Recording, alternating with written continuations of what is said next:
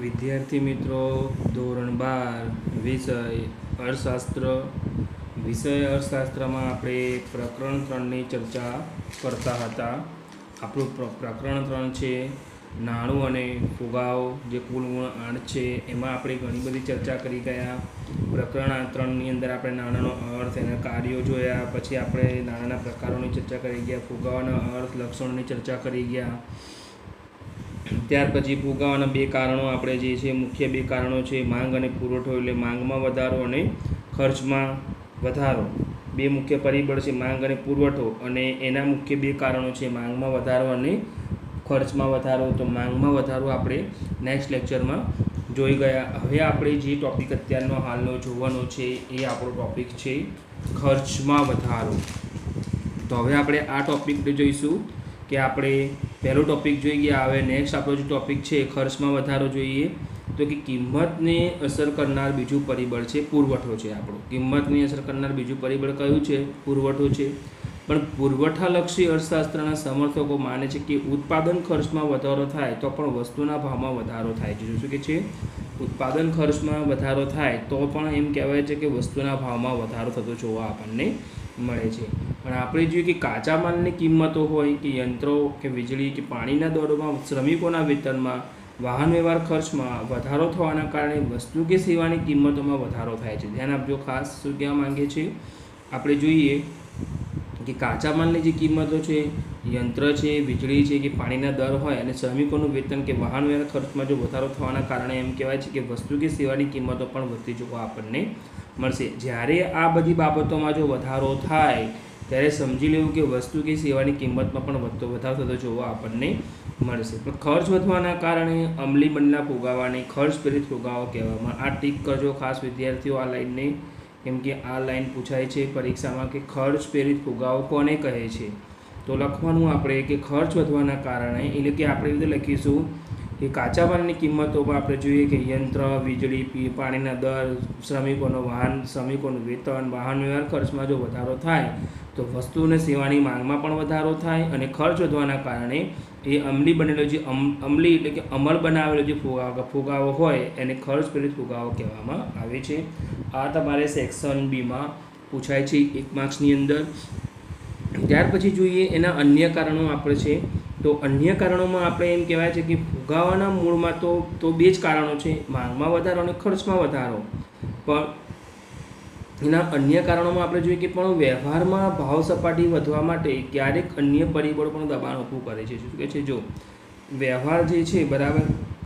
એટલે વ્યવહારમાં જોઈએ કે જ્યારે અન્ય સપાટી આપણે જોઈએ કે વ્યવહારમાં જ્યારે ભાવ સપાટી વધવા માટે જ્યારે ભાવ સપાટી એમ કહેવાય છે કે વધવા માટે ક્યારેક અન્ય પરિબળો પણ દબાણ ઊભું કરે છે. જો કે અન્ય પરિબળો ટૂંકા ગાળાના આપણે જોઈએ કે અન્ય પરિબળો એ કયા ગાળાના છે? આપણા ટૂંકા ગાળાના હોય છે. પણ તે ભાવ વધારાને ત્રીવ બનાવતા જોવા આપણને મળે છે. ભાવ વધારાને કેવો બનાવી દે છે એકદમ ત્રીવ બનાવતા જોવા આપણને મળે છે.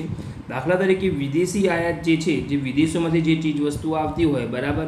એની આયાત પર ચાલતા ઉદ્યોગો આયાત વેરામાં વધારો થાય. દાખલા તરીકે આપણે જોઈએ કે બહારના જે દેશો છે, આપણા બહારના દેશોમાંથી જે ચીજ વસ્તુ બધી આવતી હોય આપણા ભારત દેશમાં, જે આયાત થતી હોય, એની ઉપર જે ઉદ્યોગો ચાલતા હોય, બરાબર?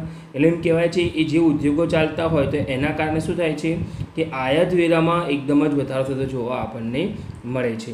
તો આયાતનો વેરો, એટલે ટેક્સ જેને આપણે કહીએ છીએ, એ વધી જાય છે એની આકસ્મિક સંજોગોમાં આપણે જોઈએ કેમ કહેવાય છે કે આકસ્મિક જે સંજોગો છે, એ સંજોગોમાં ત્યાં એમ કહેવાય છે કે અછત ઊભી થતી જોવા પણ આપણને મળે છે અને અછત થવાના કારણે ત્યાં તો પણ ભાવમાં વધારો થતો જોવા આપણને મળે છે. એટલે આપણે જોઈએ, એમ કે મૂળભૂત રીતે તો માંગમાં અને ઉત્પાદન ખર્ચમાં જ વધારો થતો હોય છે. જો મૂળભૂત રીતે આપણે એમ કહેવાય છે કે માંગ અને આપણે જોઈએ કે ખર્ચમાં જ વધારો થતો જોવા આપણને મળે છે કે એટલે કે મૂળભૂત રીતે માંગમાં અને ઉત્પાદન ખર્ચમાં જ વધારો થતો હોય છે. પણ તેને અસર કરનારા આમ અન્ય પરિબળો સમજવા જરૂરી બને છે. એટલે જોઈશું આપણે પહેલું જે પરિબળ છે, એનું આપણે જોઈએ કે કરવેરા નથી. કરવેરા એટલે કે ટેક્સ જે કરવેરા ભરવાના હોય છે કે સરકારની કરવેરા નીતિ ખાસ તો ઊંચા દરે વધતા વેરા વસ્તુના ઉત્પાદન ખર્ચમાં અને કિંમતમાં વધારો કરે છે. પણ માટે ઊંચા કરવેરાના દર એ ફુગાવા માટે જવાબદાર બનતા બને છે. શું કે છે? ઊંચા કરવેરાના જે દર છે, એ ફુગાવવા માટે શું બનતા હોય છે? આપણા જવાબદાર બની શકતા જોવા આપણને મળે છે. ત્યાર પછી સેકન્ડ પોઈન્ટ જોઈએ કરવેરા નીતિ પછી આપણે અન્ય પરિબળોમાં ત્રીજું બીજું પરિબળ છે, આયાતી વસ્તુની કિંમતમાં વધારો. આયાતી વસ્તુની કિંમતમાં વધારો ક્યારે થાય કે જ્યારે આપણે એમ કહેવાય છે કે વિદેશી જે વસ્તુની, વિદેશમાંથી જે વસ્તુની આયાત થતી હોય, તો એ આયાત પાછળ એમ કહેવાય છે કે એ આયાત ઉપર જે ચાલતા ઉદ્યોગો હોય, દાખલા તરીકે જે ચીજ વસ્તુની આયાત થાય છે, એના જે એને કહેવું, કહેવાય છે એના પર ચાલતા ઉદ્યોગો હોય, તો આવક વેરો વધશે, તો આયાત વેરો વધતા એમ કહેવાય છે કે વસ્તુની કિંમત પણ વધતી જતી જોવા આપણને મળે છે. એટલે આપણે જોઈએ કે ભારતમાં એમ કહેવાય છે કે જુદી જરૂરી પેટ્રોલિયમ પેદાશ, જે રીતે આપણે કહેવાય છે કે જે ઈરાન, ઈરાક જ્યાંથી પેટ્રોલિયમ આવતું હોય, પેટ્રોલ તો એને પેદાશના સિત્તેર ટકા જેટલો પુરવઠો આયાત દ્વારા પૂરો પાડવામાં આવે છે. જો જો આંતરરાષ્ટ્રીય બજારોમાં ક્રૂડ ઓઇલના ભાવ વધે આ ધ્યાન આપજો ખાસ, આંતરરાષ્ટ્રીય બજાર એટલે કે જેવા કહેવાય છે કે જે બહારના દેશોમાં જો ક્રૂડ ઓઇલના ભાવ વધે, તો પેટ્રોલિયમના ભાવ વધે છે. અને પેટ્રોલ એ વસ્તુ છે કે જેના ભાવ વધતા અનેક ચીજ વસ્તુના ભાવ જ્યારે પેટ્રોલ ડીઝલના ભાવ વધે તો એટલું સામાન્ય બની જાય કે અન્ય ચીજ વસ્તુઓના પણ ભાવ વધતા જોવા આપણને મળે છે. એટલે ત્યાર પછી આપણે જોઈએ એટલે કે આયાતી વસ્તુની કિંમતમાં આપણે જોયું, એટલે કે તમને મેં કીધું એ પ્રમાણે કે જે આંતરરાષ્ટ્રીય જે પેદાશો છે આપણી, એ આંતરરાષ્ટ્રીય બજારોમાં ક્રૂડ ભાવ વધે તો પેટ્રોલ ડીઝલના ભાવ પણ આપણે વધવાના છે અને પેટ્રોલ ડીઝલ એ એવી વસ્તુ છે કે તેના ભાવ વધતા અન્ય, અનેક ચીજ વસ્તુના ભાવ પણ આપણને વધતા જોવા મળે છે. ત્યાર પછી આપણે જોઈશું લાસ્ટ ટોપિક છે આપણો, એનો અન્ય પરિબળોમાં એની અછત જોવાની છે. હવે એની અછતની આપણે ચર્ચા કરી દઈએ. તો એની જે અછત છે, એમાં આપણે જોઈએ કે લાસ્ટ પોઈન્ટ છે આપણો અછત. તો કહેવાય છે કે જ્યારે કાચા માલની આપણે જોઈએ કે જ્યારે પણ કાચો માલ હોય, તો કાચા માલની એમ કહેવાય છે કે વીજળી કે ઉત્પાદન માટે જરૂરી કોઈ પણ બાબતની અછત ઊભી થાય ત્યારે તેના ભાવમાં વધારો થાય છે. ધ્યાન આપજો ખાસ, જ્યારે કાચો માલ જે છે, આપણે જોઈએ કે જ્યારે કાચા માલની વીજળી કે ઉત્પાદન માટે એમ કહેવાય છે કે વીજળી કે ઉત્પાદન માટે આપણે વાત કરીએ તો જરૂરી કોઈપણ બાબતની અછત ઊભી થાય. ત્યારે એમ કહેવાય છે કે તેના ભાવમાં પણ વધારો થાય છે અને ઉત્પાદન પ્રક્રિયામાં સામેલ કોઈપણ બાબતની વ્યાપક અને લાંબા ગાળાની અસર એમ કહેવાય છે કે અછત ત્યાં ફુગાવા માટે જવાબદાર બનતી જોવા મળે છે. કેવી રીતે ખબર પડશે આપણને? તો કારણ કે જ્યારે કાચા માલની જેમ કહેવાય, જ્યારે કાચો માલ જ આપણને ન મળી રહેતો હોય, એટલે જોઈએ કે વીજળી કે ઉત્પાદન માટે જરૂરી કોઈપણ બાબતની અછત ઊભી થાય ત્યારે તેના ભાવમાં અછત ઊભી થવાના કારણે ભાવ વધશે અને ભાવ વધવાના કારણે દાખલા કે ઉત્પાદન પ્રક્રિયામાં સામેલ કોઈપણ બાબતની વ્યાપક અને લાંબા ગાળાની એમ કહેવાય અછત એ ફુગાવવા માટે પછી જવાબદાર બનતી જોવા આપણને મળે છે. એમ કહેવાય છે કે કાચા માલની અછત હોવાના કારણે એના ભાવ વધશે અને ભાવ વધવાના કારણે ત્યાં અછત થતી જોવા આપણને મળે છે. એટલે વિદ્યાર્થીઓ, આપણે નોટની અંદર તમારે આપણા પ્રશ્નો લખવાના છે. હું જે પ્રશ્ન કહું એ તમારે ખાસ એમાં લખવાના છે. એટલે કે ખૂબ બધું નાણું ઓછી વસ્તુઓને પકડવા દોડે ત્યારે ફુગાવો સર્જાય છે આ વિધાનની સમજૂતી આપો. અને ત્યાર પછી એ પ્રશ્ન લખવાનો છે, આપણે ફુગાવાના કારણો આપણે મેં જોયા હતા, એના મુખ્ય બે કારણો છે, માંગમાં વધારો અને ખર્ચમાં વધારો સમજાવો, અને અન્ય કારણોની પણ સમજૂતી આપો. હવે આપણા જે ચોપડીના વિકલ્પો છે, એ પણ આપણે જોઈ લઈએ કે આપણો પહેલો વિકલ્પ છે કે વસ્તુઓ અને સેવાના બદલામાં જે સર્વ સ્વીકૃત છે, તે નાણું છે ત્યાં નાણાંની વ્યાખ્યા કોણે આપી? તો કે રોબર્ટસને આપી છે. આપણે જોઈએ કે રોબર્ટસન જે છે એણે આપેલી વ્યાખ્યા છે. માંગમાં વૃદ્ધિ થવાના કારણે થતા ભાવ વધારાને કેવો ફુગાવો કહેવાય? તો માંગ પ્રેરિત ફુગાવો કહેવામાં આવે છે. ત્રીજો વિકલ્પ જોઈએ કે સતત અને સર્વગ્રાહી ભાવ વધારાની સ્થિતિમાં નાણાંનું મૂલ્ય શું થાય? ઘટે છે. સતત અને સર્વગ્રાહી ભાવ વધારાની જે સ્થિતિના કારણે નાણાંનું મૂલ્ય શું થતું જોવા મળશે? આપણને ઘટતું જોવા મળે છે. સરકારે કાયદા દ્વારા વધતા ભાવોને અટકાવ્યા હોય તો તેવો ફુગાવો તો તેવો ભાવ વધારો કયા પ્રકારનો ફુગાવો છે? તો દાબેલો ફુગાવો છે.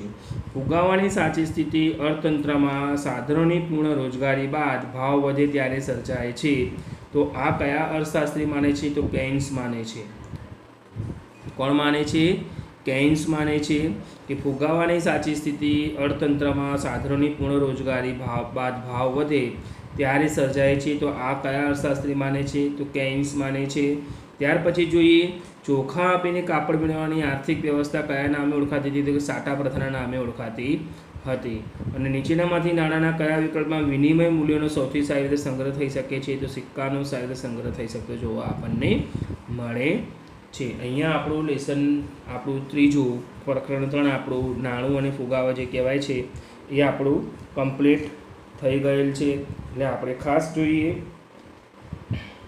કે જે આપણે થર્ડ લેસન જે આપણું હતું, એ આપણું એમ કહેવાય છે કે નાણું અને ફુગાવો કમ્પ્લીટ થઈ ગયું. હવે આપણે નેક્સ્ટ લેક્ચરમાં લેસન નંબર આપણું ફોર બેન્કિંગ જે છે, એ આપણે બેન્કિંગ અને નાણાકીય નીતિની જે આપણે ચર્ચા કરવાના છે. નેક્સ્ટ લેક્ચરમાં આભાર વિદ્યાર્થીઓ. અને હલો હલો વિદ્યાર્થીઓ, આપણે નોટની અંદર સ્વાધ્યાય કમ્પ્લીટ લખવાનું છે. નોટમાં તમારે લેસન નંબર થ્રીનું સ્વાધ્યાય પણ લખવું ફરજિયાત છે. આભાર.